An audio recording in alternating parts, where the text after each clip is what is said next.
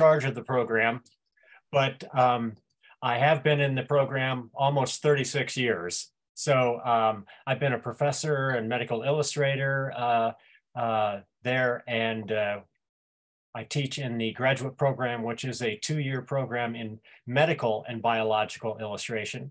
And uh, many of my uh, students are here this evening ready to share their work and talk with you about their paths to the profession and art that they like and what they're creating. And we wanted this to be a conversation rather than a presentation. So please feel free to ask questions uh, during or after each student who presents. And so we'll start out with Courtney.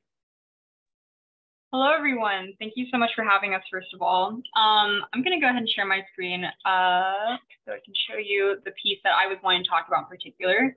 So this is one of my personal favorite pieces that I worked on during my first year. I'm currently a second year student at Hopkins. And this is about talking about your C1 or your atlas vertebrae and a novel variation of it that was discovered in a case study. And this case study was featuring a 16 year old who, if you can believe it, had a stroke. So I'd like to get into how that was kind of discovered. So in our vertebrae, um, we have like these little shelves underneath this little flat surface called the articular surface. And they typically are kind of open. So um, it's typically kind of open. Like if I had like this little like climbing clip here, and here's the vertebral artery that would kind of just like sit underneath it.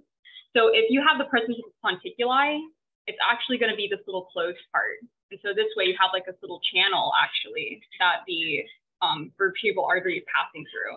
And in particular, if you have the dorsal variation, which is very back of the posterior formation, in a lot of cases, your vertebral artery can get snagged if you move your neck in a, a really bad way, and that can cause you to have a stroke. And in this case, in this 16 year old patient, um, he had a whole channel so a whole channel that was like literally formed around his vertebral artery. And that led to what's called a watershed stroke. And watershed meaning that it's basically a cutoff of circulation that is happening away from the site where the actual like damage had occurred. So in this case, it was a totally novel thing that was discovered in this 16 year old patient. I feel so bad for this patient to be so young and have this very rare uh, kind of formation had been, been involved. So I worked with a Hopkins neuroradiologist who was on this case, and this poster was designed for presentation for his clinical discussions that he had with his colleague. And Courtney, can you tell us a little bit about your background? Yeah, so I graduated from the University of Oklahoma, Stillwater, um, Oklahoma State University, excuse me, in Stillwater. Um, I have a physiology degree before I came to Hopkins, so I a little bit deviated from like the specificity of like maybe focusing primarily on art. I think a lot of us come from very diverse backgrounds here. Um, one of my biggest interests is trying to further uh, patient education, and I got really interested in trying to be involved in professional um, or more expert-oriented communication with my time working with a lot of experts here at Hopkins. It's, it's really fascinating to be able to facilitate that communication between experts and getting to kind of almost be somewhat on their level of understanding certain uh, topics that they talk about. So, yeah. Uh, any questions for Courtney? Can you tell us the media that you create, you use to create this artwork? Yeah, so I the the rendered form that you see here was created in Adobe Photoshop. And uh, so I know for some people you think, oh, Photoshop is just for like, you know, messing around with pictures and everything, but you can be used it to a lot of like other painting purposes. Um, I did some, I actually used this other 3D modeling program called ZBrush. I was able to pull what's called the DICOM data or the actual like radiological data that's shown in 3D to get a like an actual direct reference of what this patient's vertebrae look like. So I used so I was able to combine a reference from a modeling program called ZBrush, and then I rendered it out in Photoshop.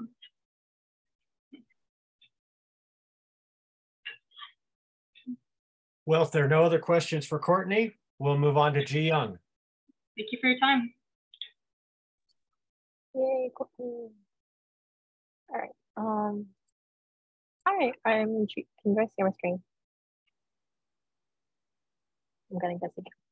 Um, so my project was on the extraocular muscles of the eye and it explains each of their functions. And it was made for an audience of medical students. And so when they're learning about the muscles of the eye, most, most illustrations show them from a view that covers at least two of the muscles. And so I um, made sure to illustrate them in an oblique angle so that they're visible. And I also made the eye all translucent so you could see the medial rectus muscle. Um, and so on the left side, I show the gross anatomy of the muscles and the inset below shows the origin of each muscle um, back to the optic nerve and explains the angle of the rotation. And then on the right side, you'll see um, below like which muscle causes which kind of movement of the eye. Um, and for the medium, I use Adobe Photoshop. And for the skull reference, I use a CT scan to get um, data for that. And then I also just used um, reference images from other anatomical plates to get um, references from the muscles and the eyeball itself. I'd like to share And with you yeah, audience that uh, the first year graduate students take the uh, medical school anatomy course with the med students. And they do very, very well year after year. Any questions for Ji Young? We want to have a conversation. If there's anything on your mind about the, you know, the image or something related, we'd, we'd love to discuss it with you. Oh, um, and, and you can raise your, I mean, I can't see the hands, but you can, um, just use the chat box and say you have a question and we'll, we, you- then you can unmute or just feel like you can unmute right now and, and come on in. Don't, don't feel shy. Yeah, I I think that would be easiest, uh, just to unmute and, and, and if you have to, butt right in. Hey, Well, I have a question. Oh, oh, go ahead. Why, why you choose this topic? This was like over a year ago. I don't remember. um, my content expert was Dr. Um, Cook, and I was I really liked her lectures during anatomy because um, so our content experts for these topics for these um, projects are the anatomy professors in the med- in the School of Medicine, and so I remember I liked hearing her lectures and um, we also have meetings with them to make sure that what we're creating is anatomically correct and i really enjoyed working with her um, i don't remember the other options for the projects but yeah So honest. usually with these Oh, projects, the students are uh, charged with having a main explanatory image and then to provide uh, uh, any number of insets to further tell the story. And they're writing the narrative and providing all the uh, labels and are guiding, you know, the, the viewer through this educational process. How much editorial or how much input do the content um, uh, mentors or the, the, the, the folks that you're trying to create something for have within the process? And how much do they get to do edits and makes changes or ask you to do that? Uh, it really depends on the content expert we work with. Um, I think on average, the amount of input they give is um, to make sure that it's anatomically correct and that it conveys the message I'm trying to teach the audience. But in terms of, you know, when it comes to style, um, like color scheme, we keep, we're the ones that keep that in mind. And we're taught by our professors to keep things like color blindness and um, just contrast in mind for color schemes. So to make it accessible for a big, a wide audience. And this is for Courtney as well. I mean, how much did you know about this part, these parts of the body before you get into this? You have to learn everything from the from the bottom up. Yeah, Um, um, pretty much. We had just taken anatomy um, before coming back to this. We we take anatomy and we come back to the department and start on projects. Courtney, this is a was this the first project after anatomy? the first project after anatomy. Um, I think it, was it? I think it was like wasn't didn't we start like neuro somewhat soon after that as well? Because at that point we had Yeah. more anatomy background. Um, Yeah, I don't Yeah. think during anatomy we didn't go into super. Um, we didn't go super detailed into the extraocular muscle, so we always do have to do some research to get to kind of freshen our memory. yeah. Um, Laura some of- has I was, I was going to say some of the content experts that we work with for these projects also provide us literature or other examples they use to teach. So we get more kind of specialized knowledge about that particular topic. So we always have to come back and refresh our, our knowledge from time to time on things. And can you tell us how long the course is? How many, how many weeks? Courtney or, Hopefully or guys, Gian?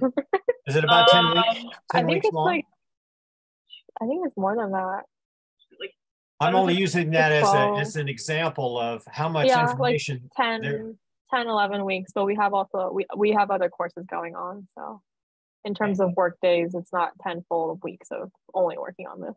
Well, it is eight to two every day for, you know, five weeks, I mean, for uh, five uh, days a week.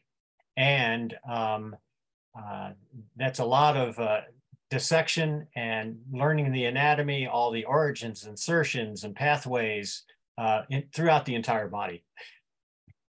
Hey, Tim, we have some questions in the chat box. Doris asked, do you also try to make an animation that would be great for illustrating extraocular muscle movements?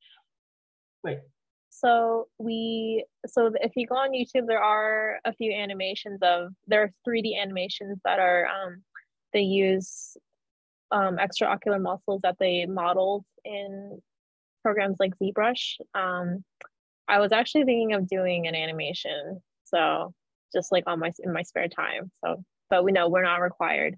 Um, and who, how, where will your illustrations be used? um, they will be they're used for the medical students in anatomy. So if they if the content expert wants to use it then that that's the audience that would see it. Um, we also put them in our portfolios on our website so um, they might be if people ask us for permission to use them then we kind of we go over that with copyright. Uh what are the prerequisites Liz- for the program that's kind of a general what, question yeah, what, are, what are the prerequisites, Tim? How do you get into this program? Well, well, let's G, Ji Young or Courtney tell about how they got into the program. Um, I was a pre-med major and all through college, I had plans for going to medical school and then I learned about medical illustration and I changed paths. But basically for this program, you have all the prerequisites of medical school. Um, you don't have to take things like organic chemistry, but I had to anyway for my major. Um, you have to have a scientific background, um, so you just have to take the make sure you have a transcript of those science courses. And then in terms of art courses, you don't have to take any, you just have to have a portfolio that meets their requirements. And Courtney, tell us about the requirements of the portfolio. Oh, for the admission Yes. requirements? Um, from what I can remember off the top of my head, we focus a lot on making sure we have the fundamentals. So we don't require any, we don't actually discourage um, any examples of medical or anatomical or most scientific art just to make sure that students grasp the fundamentals. So we have a lot of emphasis on figure drawing. Um, we have also like other things about compositions, like focus on still lifes, for example, um, really paying attention to things about the use of color, light on form. It's really just a demonstration of the fundamentals. And that, again, I, I like Jiyoung, I primarily came from like a science background with a science degree. I was also planning to go to med school at some point, but um, it's just making sure that we have um, the tools equipped for us to, to hit the ground running once we start the program. And then we pick up more specific and scientific and medical knowledge and techniques from there. All right, so let's move on to Nicole, if she's here. Tim, I think there's other questions later when we have time.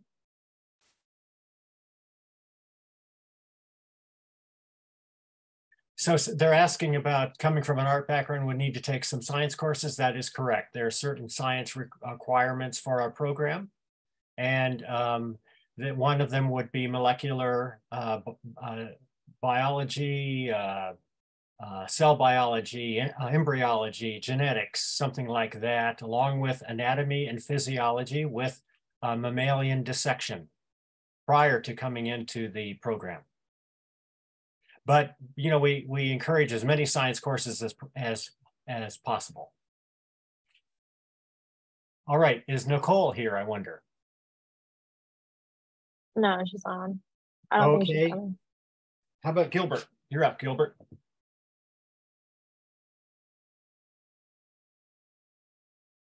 Hello, everyone. My name is Gilbert, and I'm a second year student Hopkins. I'm from Taiwan. And so uh, when I was in undergrad, I studied in biotechnology. And at that time, I just worked in the lab and then I draw a lot for my professor for publication. And then one day my professor said, oh, you should look it up. Maybe somebody did that for career. And then I look it up. I found this program. I think it's really great. So I applied it. And this piece is, uh, so I, I did this piece in editorial illustration class. Is illustration or design? I don't remember. But so we select a research article and make a journal cover for it. And so for this one, I choose that light exposure during sleep impairs cardiometabolic function, which means, you know, at night, even though your eye is closed, the eyelid cannot uh, block out all the light. So your brain still sensing the light. And then your heart will pump, still pump really fast because they thought, oh, it's still, you know, on the daytime. So I just want to remind people like uh, at night, be sure you close your blind fully. Yeah. And I use the, so this is the heart and the facial expression is like showing that, you know, at night you just couldn't fall asleep and then you just so disappear. Yeah. So in this course, we give the students a lot of latitude to do storytelling, creative storytelling, and kind of break out of the mold of, of realism, perhaps, understanding who your audience is, trying to come up with a novel and creative solution to uh, telling the story behind the science. And, and I how, uh, I'll just quickly say that the professional journals have become a lot more uh, uh, easy to work with from the standpoint of having a broader view of art that they'll put on their covers.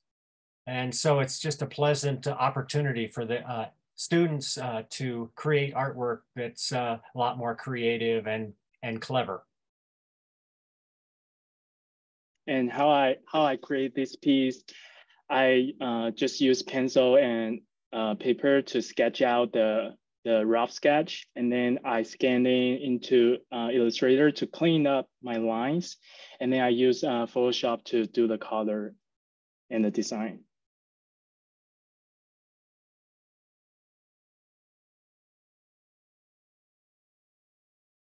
Any other questions for Gilbert? Yeah, there's a lot of discussion going on in the chat box. Okay. I'm trying to keep up with that as well. Let's see. Once once students graduate, what are the typical jobs? Um, is it mostly freelance or their salary positions? We encourage them to uh, take on salaried positions. Freelance can be very uh, difficult and uh, uh not the best option coming right out of school. By taking a uh, salaried job and working with a perhaps an animation company or a journal or some other uh, concern like that, that they'll get more business experience and uh, production experience uh, for their portfolio and, and their education moving forward.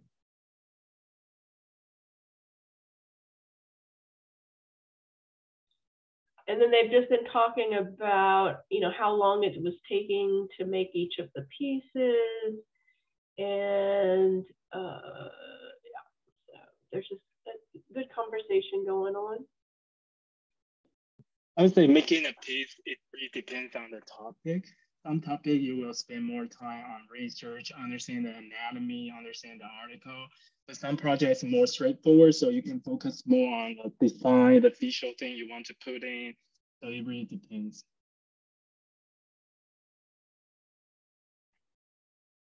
All right, if we have no more questions for Gilbert, let's uh, hear from Anne. Anna. All right. Hi, everyone. My name is Anne, and uh, today I'm going to share my um, interactive project. Uh, there's just a heads up, there's going to be some a little bit of music and sound effects. Okay, so for this project, um, we got to sculpt, um, we got to choose a, um, a body part and we got to sculpt it digitally. So the program that we used is ZBrush. So I created this um, in ZBrush, um, sculpting the bone and then the muscle. And then we brought it into Unity to create a didactic um, WebGL module. And so, oh, I,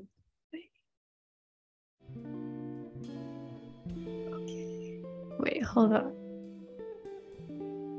Uh, there. Um, so here, um, I have the anatomy part where you can click around, um, learn about each part of the rotator cuff. So muscle, the bone. And then I also have a second part where it shows um, the action that the muscle does. And you can turn the model around and zoom in if needed. So each of these is a different um, muscle action and the muscles that are performing the action are highlighted. And then lastly, um, I also included a quiz to sort of test the knowledge and yeah, and then it does provide feedback. Um, if you get it wrong, it'll tell you, and you also lose a life. And there's also a scoring system. And uh, yeah, if you don't know what button does what, uh, there's also a question mark right here that show you and yep, so that's my project. I'll turn off the sound. Yeah, so my thought process behind the little music was that I just wanted to create a little um, ambience atmosphere for learning and some sound effect for feedback. You know, when you click on something, you know that you click on something because you hear that. So yeah. I love this, and I think this would be great to show people, the doctors showing people in the doctor's office when they're trying to explain what's going on and what your problem is. This I, this really shows it. I love it. Thank you.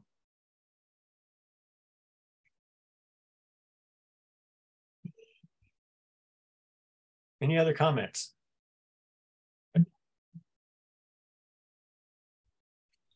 Rachel right. says, uh, in the classes, do you ever discuss the impact that this type of work can have on broadening access to medical education?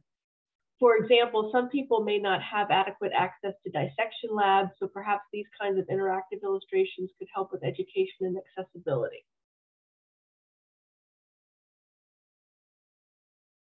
Sorry, can you repeat the question? It was cutting out a little bit. Is it's it? in the chat box. If you want to pull up the chat box, it's the last um, comment by Rachel. It's about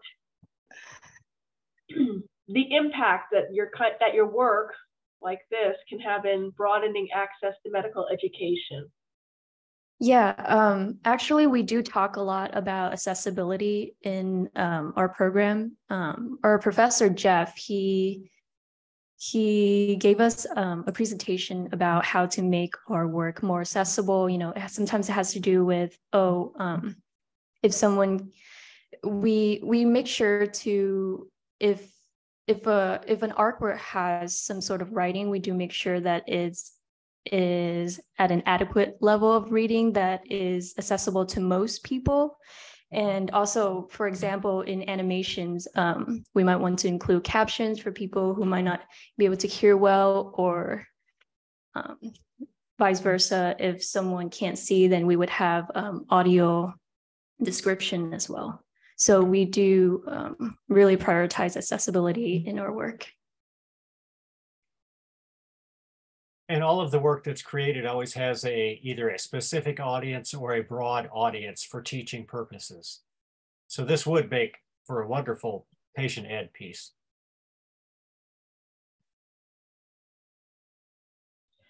Are there are these are these um, also used, I guess, in documentaries or different things on uh, they'll take and pull this out and, and insert this into a into a video?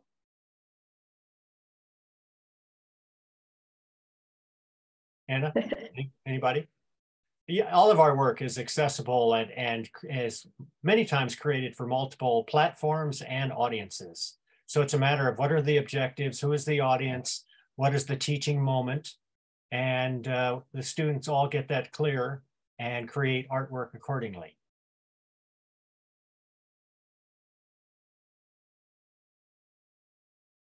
All right, let's move on to Manal.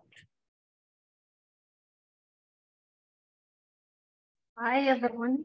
Um, I'm a first year grad student here at Hopkins. Um, I'm a radiologist from Taiwan, and uh, this is the piece I would like to share with you all. This is an interesting collaboration between our department and the National Aquarium here in Baltimore. Um, the targeted audience are vets who are more familiar with managing domestic pets like cats and dogs.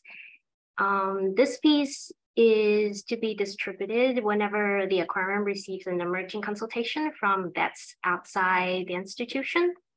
And so it mainly talks about differences of emergent animal management between a distressed two-toed sloth and domestic animals.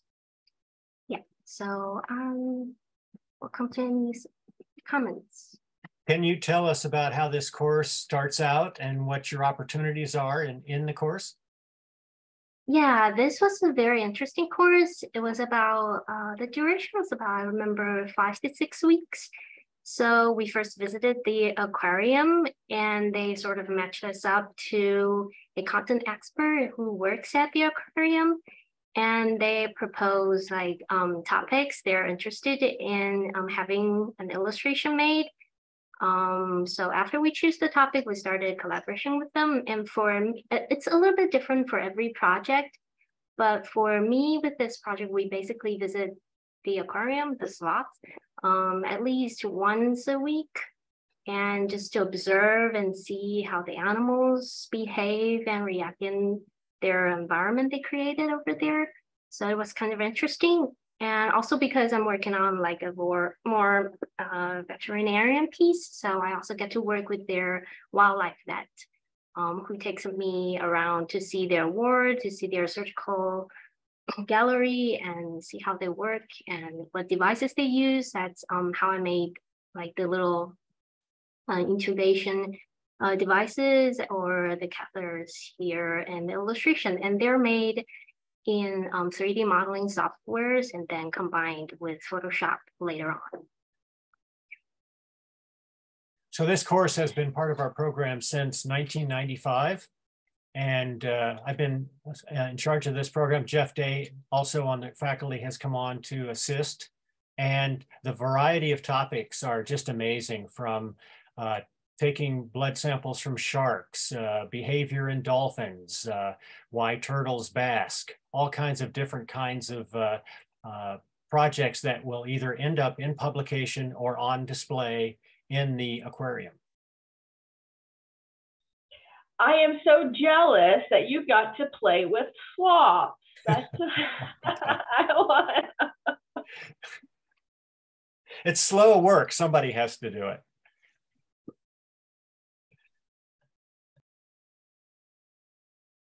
Any other comments? We might see another aquarium piece in this this evening. I'm not sure what's what's up to bat, but uh, thank you, Manal. Uh, Tanya. Manal, I, I, have one more question. You said that they they you made the the the pieces and with the 3D printer and then incorporated them into the artwork. Could you elaborate on that a little bit? Oh, just the devices. I made them in 3D softwares, like totally digitally. I didn't print them out.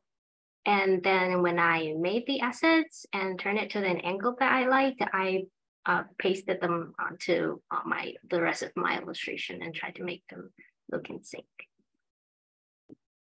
There's, there's a lot of 3D modeling that's come into our program and it's been very useful in surgery and in procedures like this where the students actually sculpt the instruments uh, or apparatus or whatever is necessary, then as Manal has explained, rotates it in the view, the proper view for orientation.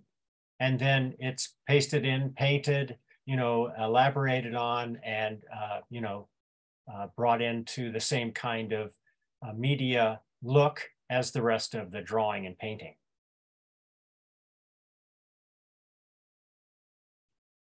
All right, so we have Tanya.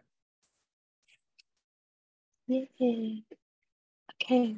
Yeah. Hi, guys. Um, everything's been so wonderful so far. Great, great presentations, everybody. Um, my name's Tanya, and I'm going to show you a piece of mine, which at this point kind of feels like a throwback. But um, so this is, can everybody see my screen? Okay, cool. So this is a piece that we did for our raster tone illustration class. It was one of the first courses that we took upon entering the program. I'm a first year, by the way. Um, and so this was one of like the first challenges that we underwent where we had to um, find a specimen, um, do some research on said specimen, and then illustrate that specimen um, and also include a couple of interesting insets to explain like the information that we wanted to talk about with, with that specimen. And I decided to talk about the striped bark scorpion, um, partially because it was the only one I could find online and I got a couple of those off of Etsy. Um, and I still have them. They're named Cookie and Milk. Um, they're they're dead specimens. they're dead specimens, so they're like in these little preserved jars.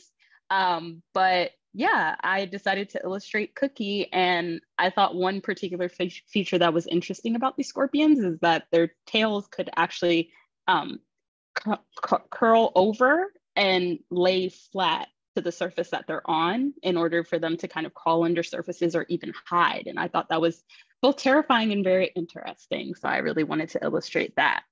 Um, so yeah, it was a fun class. First challenge that we undertook as first years in the program.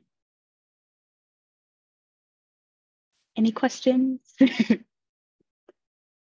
Why did you decide to go in black and white? Yes. So for this first class, uh, that was one of the requirements is that this would just be a straight up tone illustration where we are just exploring values and ranges of values. Um, and so we weren't necessarily doing anything in color just yet. Um, we ended up doing a lot more color pieces late, late, later on, but this was the uh, first piece where they wanted us to do it in black and white. Yeah.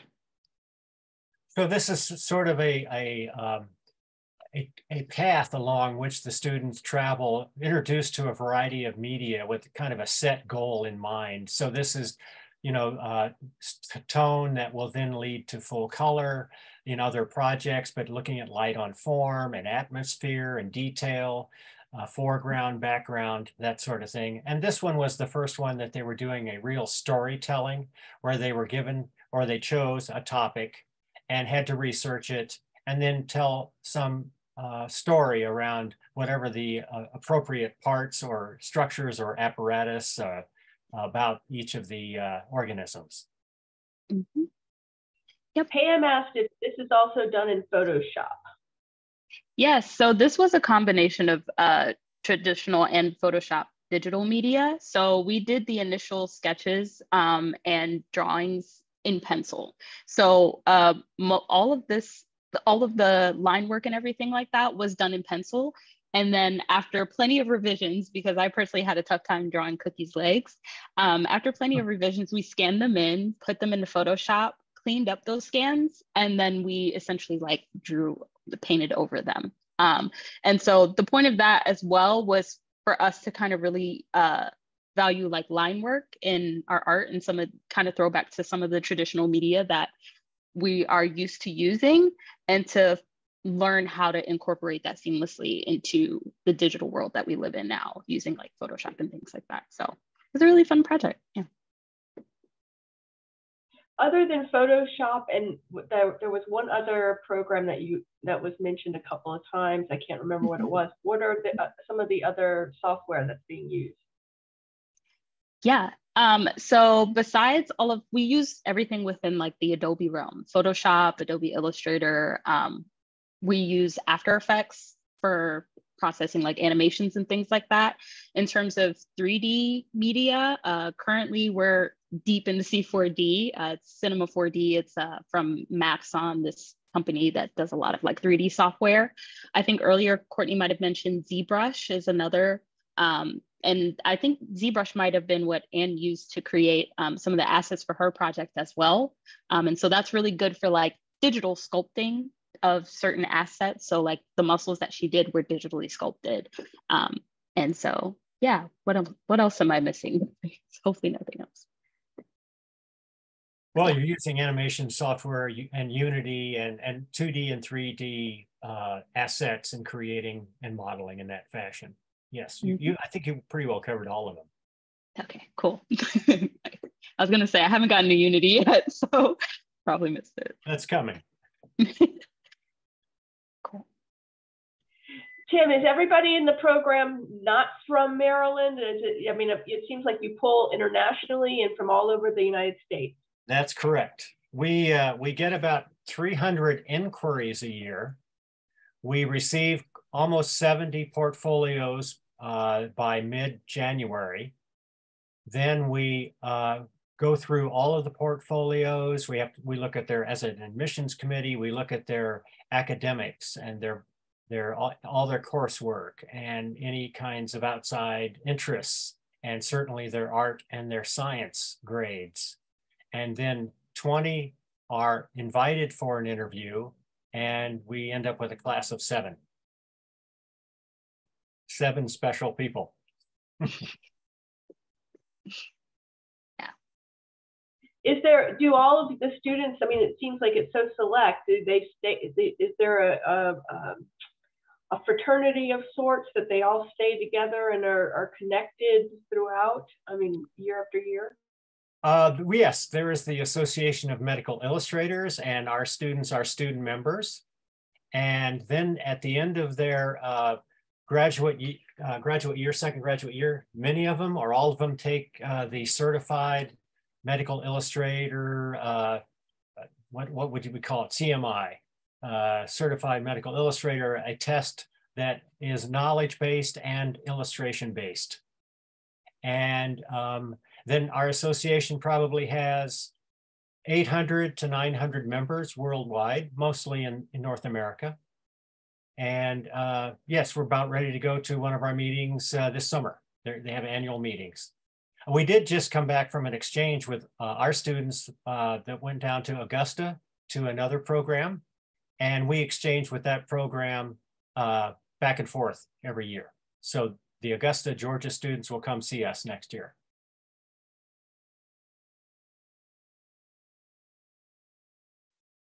All right, do we have Emily tonight?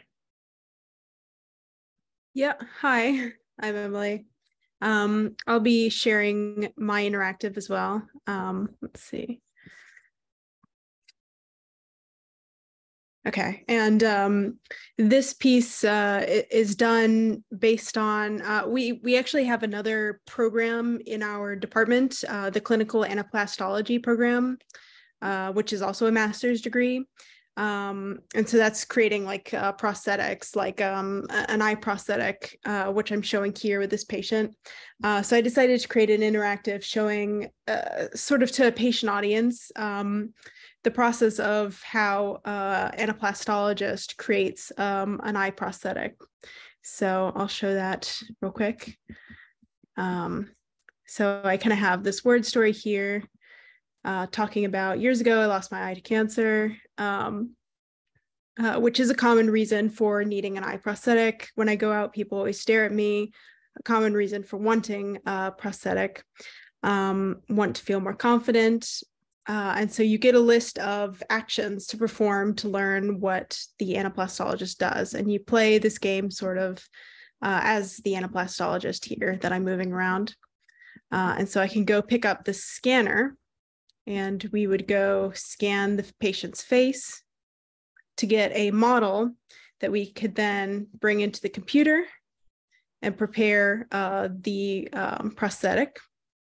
And then we would 3D print a mold for the model. Uh, and then we would cast that in silicone here. Uh, and then we create the prosthetic for the patient. So that's um, the interactive that I created, but I could also um, talk a little more about the anaplastology program, I guess, uh, if there are questions about that. Well, please tell us a little bit about that, if you will, please. Okay, uh, I only know a little bit. I mean, I'm not in that program, uh, but Nicole, the student uh, that was not here earlier, she is in that program. Um, she's uh, pursuing her master's, um, and I think, does she graduate this year, Tim? Yes, she does. and we'll be taking on some new students. So that's a, a pretty new degree for our, um, for, uh, our department, which we're excited about. Um, and she creates uh, digital prosthetics. So, like for fingers, uh, missing fingers, she creates eye prosthetics, um, uh, facial, like partial facial prosthetics, ears, really a variety of different things um, that would basically replace um, uh, missing anatomy, like if a person had, had lost an eye or had a malformed ear. Um, or had lost fingers in some kind of an accident, she could replace these with like highly detailed and realistic um, prosthetics um, that were painted to be very realistic uh, to allow patients to um, really fit in well. And I think some of the prosthetics, like some of the facial prosthetics, can even assist with like breathing and um, speaking. So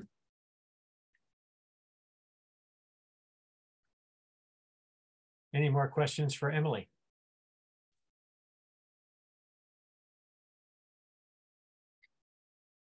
All right, we'll move to Grace.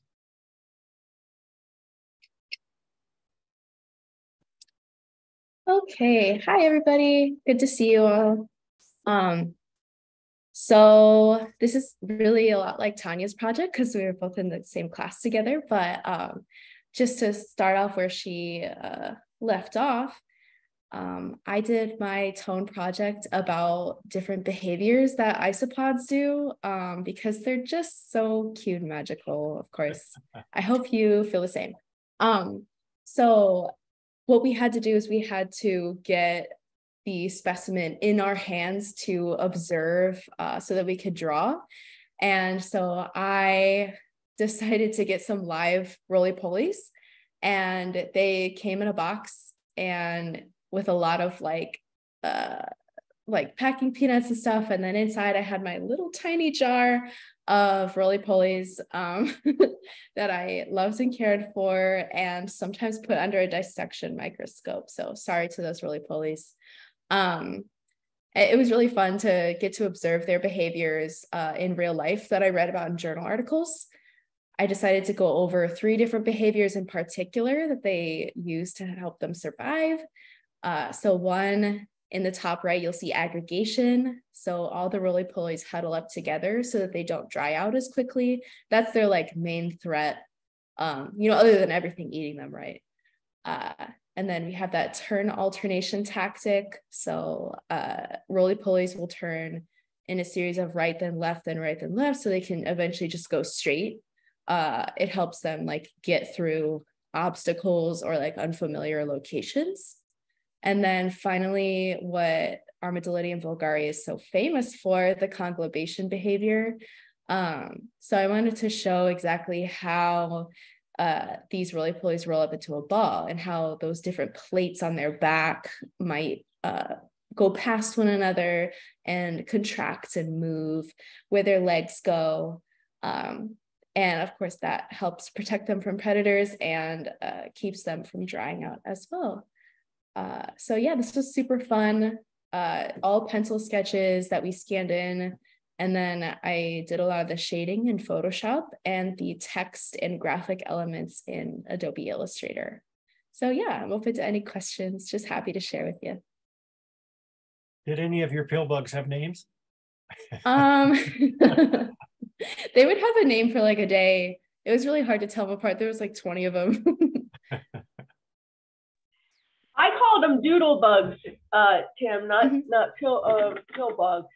They, I guess it's a regional thing. I grew up in Louisiana, so they were doodle bugs to me. Yeah, Grace has those mentioned in her uh, narrative. Yeah. Yeah, they have a ton of different names depending on where you're from. It's like super crazy. I had no idea until one day I was saying like, "Oh, roly poly," and like someone that I was talking to was like, "What is that?" Uh, that's really interesting. So again, I, I mean, Gilbert mentioned it in it when when he was talking that um, somebody kind of turned him on to this as a as an option because he was drawing in his in his uh, in the lab. Mm-hmm. I, would like to know how how the other um, students kind of uh, did they know that this was an option in terms of uh, of uh, study and profession, and how did they learn about it? Mm-hmm. Um, I can say for Sorry, go ahead. Yeah, go oh, ahead. sorry. I can say for myself really quickly. Um, I learned about it on accident in high school because my biology teacher showed a documentary about like I don't know if you know like Australopithecus, like Lucy, one of those like proto like the humans before humans kind of thing. And um, they show this documentary about how okay, we found all these bones, and then we have to piece everything together. And they had some scientific illustrators there to show what that skeleton would have looked like uh, if it were all intact. And I thought that was the coolest thing in the whole world. And then my biology teacher was like, hey, come here, let me tell you about scientific illustration. You should like do that. And I said, yeah, okay, I'll do that. And then, uh, yeah, then I did it. So um, it was just like serendipitous, I guess. Yeah.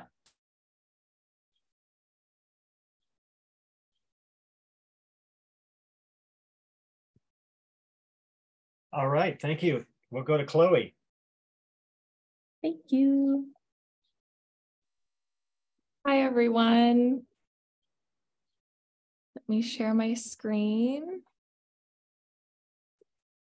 Uh, so I'll be talking about the piece that I did in collaboration with the Baltimore National Aquarium and the Masonville Cove uh, Wildlife, uh, Urban Wildlife Refuge. Uh, so Masonville Cove is located in Southwest Baltimore. It's a formerly industrial area that's being rehabilitated. Uh, and in 2019, the site had a pair of nesting bald eagles who built their nest um, at their site. And they're the first known pair of nesting bald eagles in Baltimore City. So that was a very big success for Masonville Cove. Uh, and as a result of that, portions of um, the area are closed off to the public uh, so that the eagles uh, are not disturbed by the people who visit that area. Uh, so this poster was made um, to educate the public on the nesting cycle and also to explain why portions of the area are closed off at certain points of the year. And one thing that I really loved about making this piece is that I had a lot of creative freedom with the style uh, and I was inspired by the look of national parks posters. Uh, and something that we talk about uh, in the program with our instructors is that sometimes you don't always need to use a super realistic style to uh, get your educational message across. So if it's appropriate to do so, sometimes it's fun to try a new style or something that's uh, a little less realistic. Uh, and just really briefly about my background and how I got into medical illustration. Uh, I did my undergraduate degree in cognitive science at the University of British Columbia. Uh, and I did not know about the field of medical illustration until after I had graduated.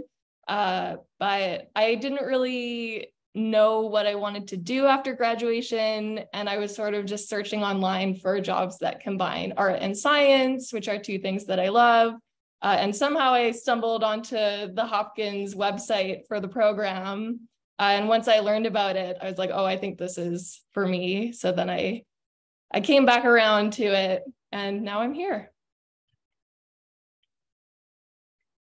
I wonder that I, my question is from the from the uh, projects that you do, do you find that you after researching uh, a subject matter, an animal, a part of the body, that you are now fall in love with that and and, and want to learn more about um, about it? I mean, how does it how do these projects influence you personally?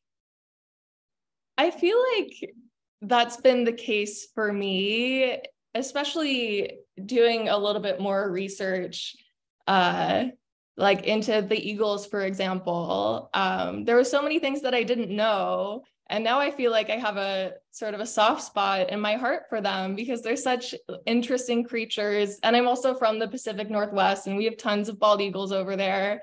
Uh, so I definitely do feel a bit more of a personal connection because I sort of spent so much time uh, looking into it. And I feel like most of the topics that are that we work on in our projects, they're all so interesting once you start researching into them.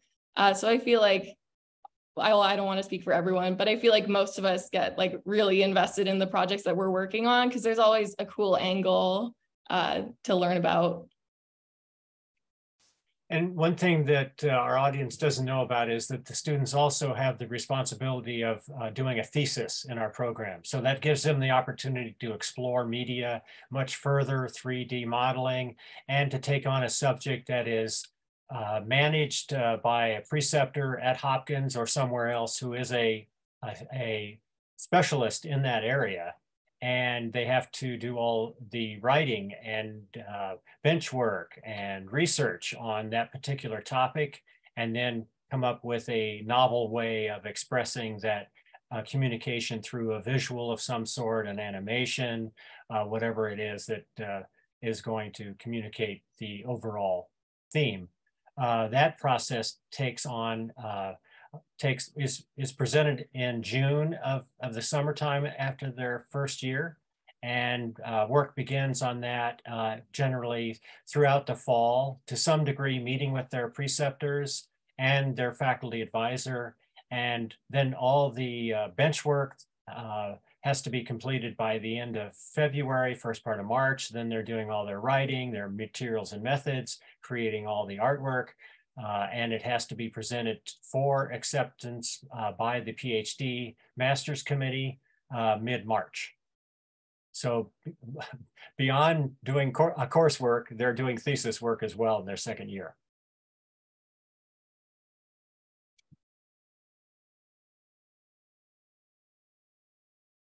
All right, let's move on to Sarah. Hi, everyone. My name is Sarah. Um, I'm 24, a little bit about, about me. I'm from Bethlehem, Pennsylvania. I did my undergrad at Lehigh University. Uh, can you guys see my screen? Yeah, okay. Um, and I did double majors in behavioral neuroscience and art.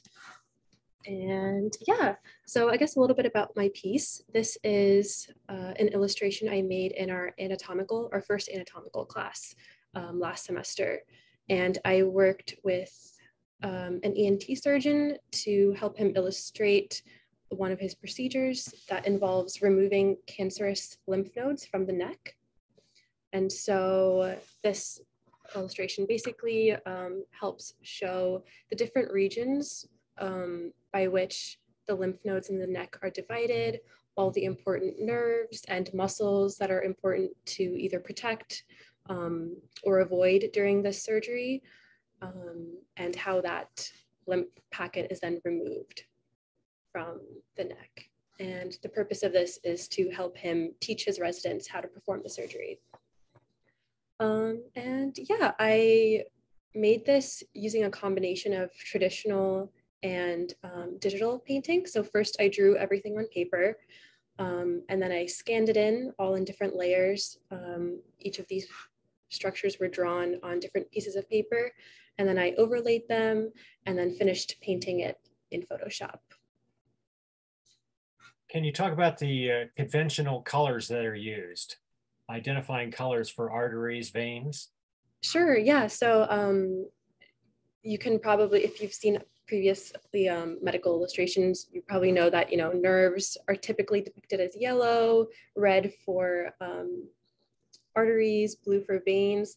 A lot of didactic color is used often in medical illustration, things that are clearly identifiable um, and helpful for learning. So obviously, you know, this is not what it would look like color-wise if you're opening up someone during the procedure, but for uh, effective learning um, and differentiating structures uh, visually, it's um, a very commonly used tool to kind of assign these bright colors. Um, and again, kind of going back to accessibility as well, it helps um, when viewing illustrations. If that answers your question.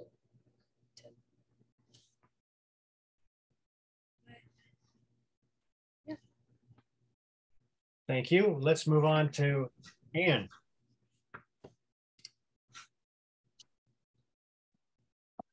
how does uh, do you, is it within the um, structure of the of the classwork? Do you go over the historic, the history of scientific and medical illustration? Is that part of the learning process? Not so much, but we do have an archive. Of course, each of us as faculty members have all of our many years of, you know, production work at the ready for the students, but we do have an archive of Max Brödel's work, who started the program in 1911.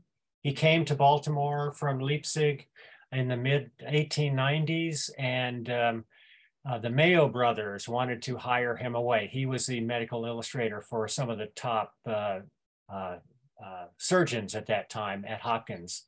And so in order to keep him here in Baltimore, Henry Walters gave an endowment to the department, uh, you know, Henry Walters of the Walters Museum, and uh, started the program in 1911. And what's very interesting is it was the first of its kind in the world. And from that, our program emanated all the others moving forward uh, because of all the training that was done to those particular graduates and the spectacular art and and anatomy that those first graduates were doing. And they went off to start their own uh, medical illustration programs across the country.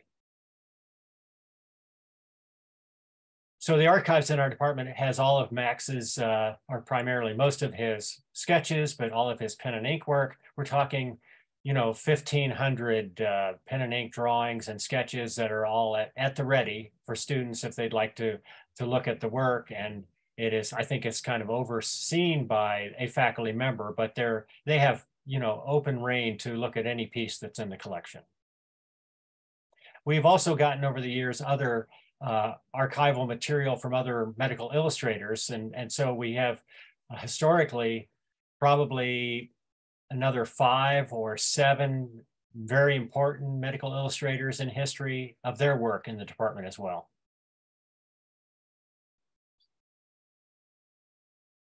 So we have, I believe we have Nick. Oh, I still have to I'm go. sorry, yeah. Anne. We, we, we still have Anne, right? sorry. Please. All right. Uh, hi, everyone. All of the presentations have been great so far, and I'm excited to be here. Share my screen. Okay, so this was created for the same anatomical illustration course as some of the other pieces we looked at tonight. And mine focuses on exploring the anatomy of the optic nerve head or where the optic nerve enters the back of your eye, which is a very vulnerable space. So we also explored how that anatomy relates to glaucoma, which is a disease state that can cause blindness. So for the main image, uh, I illustrated some of the main vessels, nerves, and then structural support located in that area. And then I included some insets that provide additional information about the anatomy. Like up here, just a little orientation of where we're at. And then these two insets here to further explain the glaucoma disease state and how that manifests in this area, including a little graphic depiction, sort of like a cartoon version of what's going on, just to really get the point across. And then for a little about me, before we open for questions. Um, I'm 22. I graduated from the University of Wisconsin-Madison with a degree in biochemistry. And uh, I'm really happy to be in this program and learning all that I am. It's really amazing.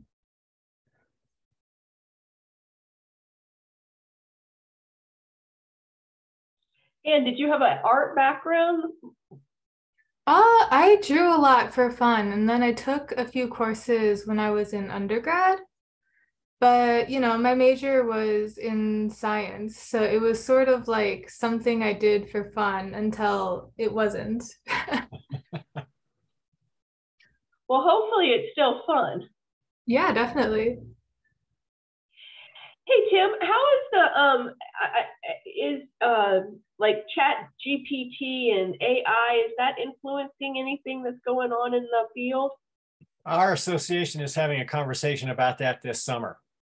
And so uh, to some degree, it's migrating in and, and it, it can be of some assistance to uh, the research and the work and, and the workflow, but it's, uh, it's a little cumbersome in, you know, what it spits back in the way of grammar and images. And, you know, the problem with AI is that it's going across the web and stealing from anybody's artwork that's already there. And so it's compiling, it's gathering, it's scraping, it's putting all these things together uh, without, in a sense, copyright approval from the individual artists. So there is uh, there's some things going on right now with the Copyright Office and how they're going to handle this situation. And it is it's a it's a, a cumbersome and but interesting uh, moment in artistic and and scientific life.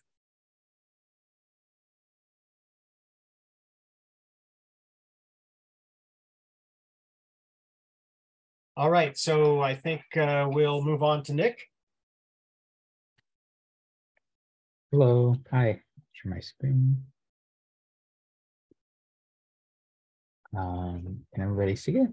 This is a piece I did for the aquarium assignment, um, as well as in conjunction with the Maryland Nature Conservancy around this tree, the Atlantic white cedar that they're reintroducing to, in particular, a national park called Nassawango Creek Preserve, but other national parks along um, the Atlantic coast. It used to be the main native species of tree in those areas, but it was logged into extinction and then replaced with um, a tree that's worse for the environment. So they're reversing that decision and they're reintroducing the species. And then beyond just doing some ID and showing it in its environment, um, as well as some of the symbiotic relationships it has and its role in the ecosystem. Um, I can zoom as well. It's meant to be a poster um, and uh, it's going to be printed so that it can be used as an education tool because tree planting goes on with local classrooms. Um, and so this is something that they use with kids to get them excited uh, about planting trees. Can you tell us uh, about the process of integrating all of this information and all these uh, uh, sort of um, uh, conservation moments? Um, okay, um, so I've worked with um, my contact at the aquarium was a guy named Scott Shadow, and he ran the planting program, and he could answer some of my questions. But then he roped in the woman who runs the Maryland Nature Conservancy, a woman named De Deborah Landau, and she answered all of my major questions about not because I could not visit the park in person. They gave me about two dozen images that they had taken um, to promote the tree planting project. So it was mostly like people planting trees, but from those images, I could extrapolate like what the environment looked like. And they also directed me to the website for Nassawango Park. Um, but otherwise, it was just at every step of the way, like showing them sketches and getting them to sign off on whether or not like they agreed with the specifics of all the understory plants and the lighting um, and the different, yeah, just the bark texture. Um, I tried to run as many of my questions by them as I could. And then beyond that, I think people in previous uh, presentations have said that a lot of the aesthetic decisions we get to make for ourselves. So as far as like the overall layout, um, I got to decide on that and how I wanted to portray each of the elements. Um, but beforehand, we kind of came up with like a master list of like everything that was going to be in it. Like,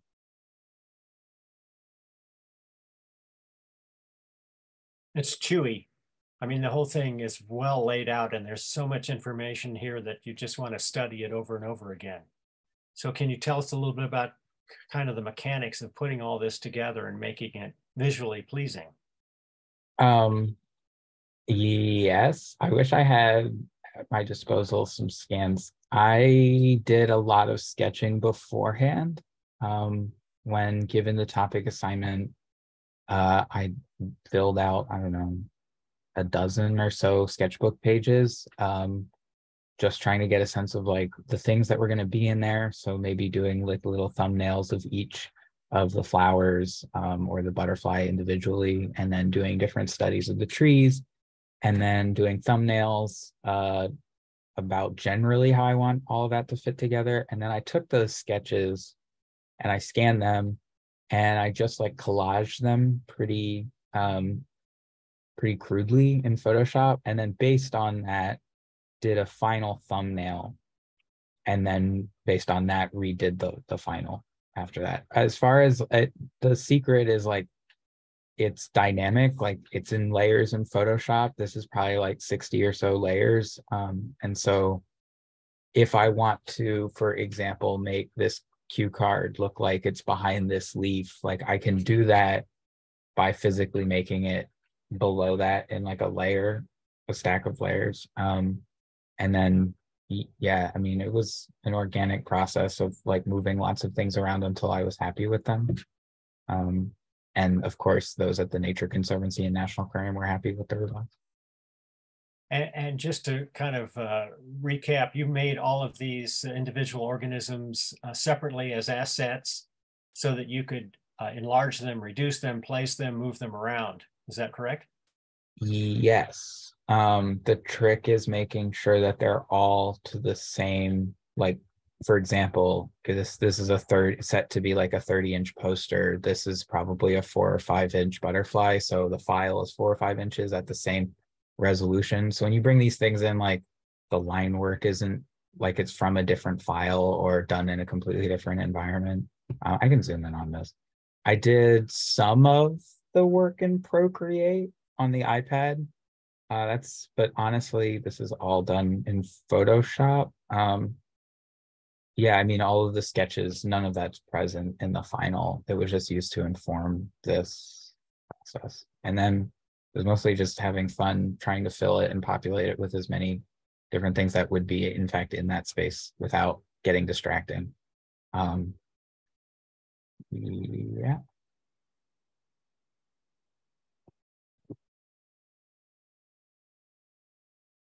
any questions for nick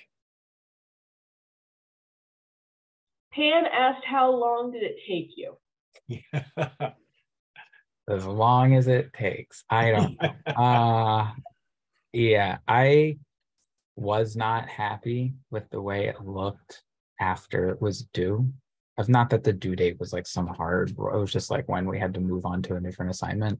After it was due, I spent some time correcting things that I didn't like about the original. So I probably went over the normal amount of time that one would spend on this assignment. I just yeah i well guesstimate the hours for us nick don't know from planning to finish probably like 50 i mean that's probably conservative estimate like 50 i'm hours gonna say that's conservative probably at 50 probably like 20 hours of sketching. And then probably like i don't know uh, i don't know i'm making a number out the 70 80 hours um.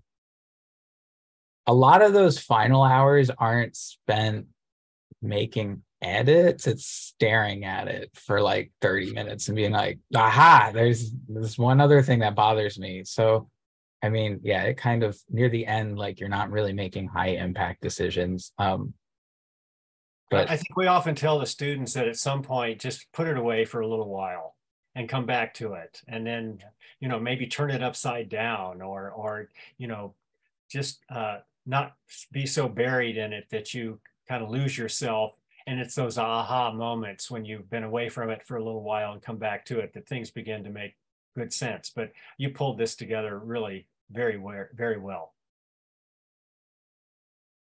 With a lot of information i'm sure they were very happy to have.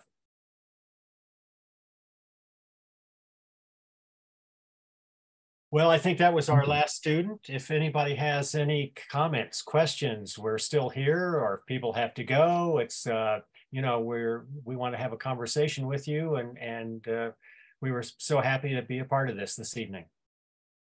Well, thank you, Tim, and thank you to all of the students for sharing their work, their um, uh, their inspirations, and um, and giving uh, us. Can I ask a question before we're done? Sure. Go ahead. Um, thank you everybody for sharing your work. Really excellent re- uh, uh, just excellent to look at. Um, we came by to visit the program a few months ago. Um, i am a patient at hopkins also when we saw a big postcard for the anaplastology i think in the spine doctor's office. Um, and was really interested. Um, came by to visit and very Im- impressive um, work that everyone was making. Um, I myself have a background. Uh, my degree is in painting and 3D um, studio arts from here in MICA. Um, I was wondering if you have any of the students here, any of your students in the program, um, have a degree in studio arts or studied that as a focus? Seems like everybody has a background. I did. I did. I went to art school. I'm I went I did the whole art route. A lot of my friends went to MICA, Um, but I went to Pratt, but they're all the same. Oh, I have a lot Um, of friends who went to Pratt. Yeah, I mean that's how it works. They're all but it's like pick your city that you want to live in for I want to apply to the program and I'm trying to put together like a pathway to get there. Um, so I mean, I would love to get any input on how you accomplish that. I went to UMBC and I did all of the pre-med classes there over three semesters. Um, so yeah, uh, it was about all told 10 or 11 classes I needed to take in order to qualify. Um, and I did that while I was working. Um, it, yeah, it was stressful and um, it's weird to be back. I was like the oldest person, not by a huge amount, but like I was older than all the undergrads and Oh, I'm sure a little- graduated in 2000, so I would be. Also. but um i will say like umbc was really accessible to if you're here in maryland and um the facilities are great and the faculty was really like helpful um it was like an easy experience how did you put together the your course um, selection? Did anybody at admissions or anybody in the program there help you select the courses that you needed?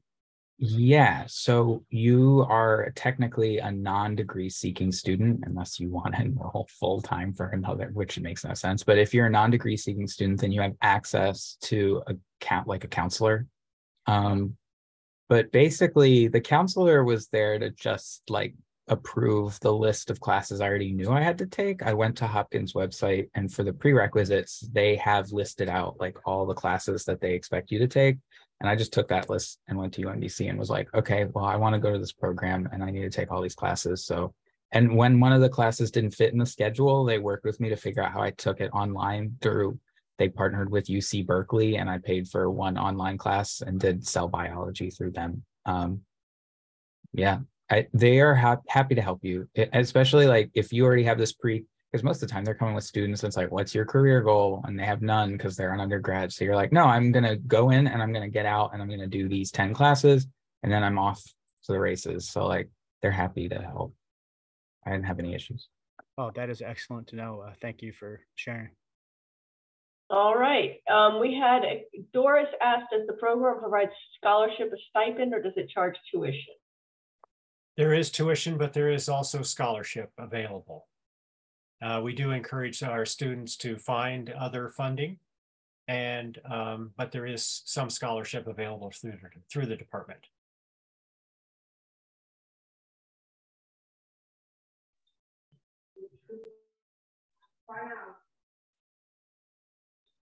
And everybody is saying thank you, thank you, thank you in the chat box and, and uh, loving everybody's work. And I concur. This has been phenomenal. Well, our students are fantastic. Uh, you know, as I say, I've been there a long time and, and I, just to see how, how much they grow and how much they do and what they become. And I even learn a few things every year from all of my students. So it's, it's an education for me. So I'm happy to be with them. Do we have any other questions for Tim or the students? Otherwise, we'll say good night. Thank you very much, everybody. Thank you and stay well, stay curious, stay outside, stay creative. And um, hopefully we'll see you next week at Must Learn Thursday, learning all about skunk cabbage. And we invite all the students to come back and learn about skunk cabbage because it's a fascinating subject, one that you might want to incorporate into a project. All right, everybody. Thank everybody. you.